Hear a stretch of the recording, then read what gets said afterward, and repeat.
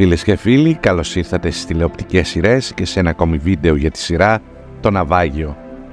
Όπως θα δούμε στα νέα επεισόδια, νέες πληροφορίες έρχονται να ταράξουν τον Άγγελο, ακόμη περισσότερο αφού θα μάθει πως πίσω από το τραγικό αυτό αίτιο του θανάτου τους κρύβεται ένας άνθρωπος που χωρίς να το ξέρει συνδέεται μαζί του.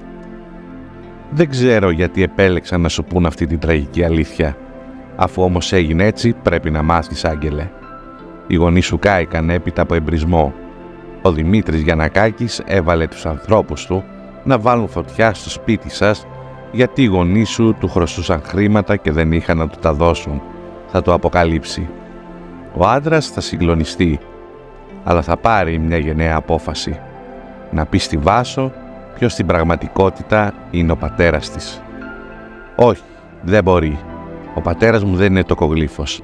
Κάποιο λάθος θα πρέπει να έχει γίνει στα ονόματα που σου είπαν, Άγγελε. Θα του πει αρχικά. Οι πληροφορίες όμως που θα πάρει στη συνέχεια θα την αφήσουν άφωνη. Η κοπέλα θα είναι στο πλευρό τους στο εξής και η παραδοχή αυτής της αλήθειας θα δέσει το ζευγάρι ακόμη περισσότερο. Παρ' όλα αυτά, εσείς μην ξεχάσετε να κάνετε εγγραφή στο κανάλι μας και να πατήσετε στο καμπανάκι δεξιά, έτσι ώστε να μαθαίνετε όλα τα νέα μας. Αυτά για τώρα, τα λέμε στο επόμενο βίντεο. Γεια σας!